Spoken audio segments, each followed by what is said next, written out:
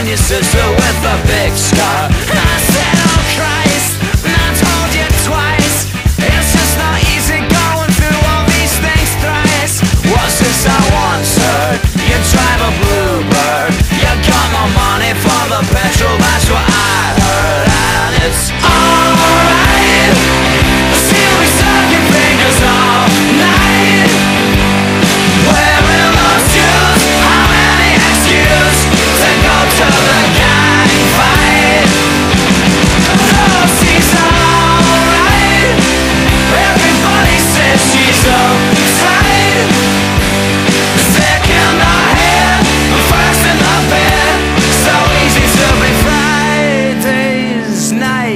Man.